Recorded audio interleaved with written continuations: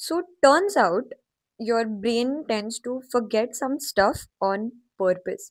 Ever thought why you remember all the theme songs from the cartoons from your childhood, but not the name of the person you met like five minutes back? Legit happens with me all the time. So today we're going to be discussing exactly that. Hi, I'm Rutuja. I'm a neuropsychologist, and let's discuss synaptic pruning today. Because when you were a child, your brain was like a jungle. There were a lot of neurons with a lot of connections. But not all of these connections were always useful.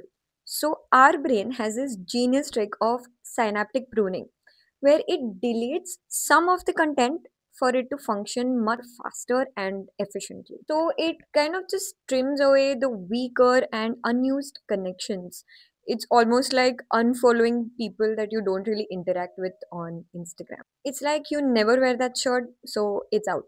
So if you never use this certain pathway, the brain cuts and the payoff a faster, smoother, and a more efficient way of processing in the brain.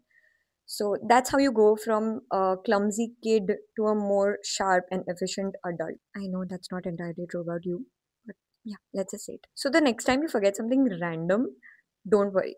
It's not that you're getting old, it's just that your brain is aging more efficiently. For the important files to run faster and better, send this to all those friends who mock you for forgetting things, tease you, and keep trying to remind you things that you keep forgetting.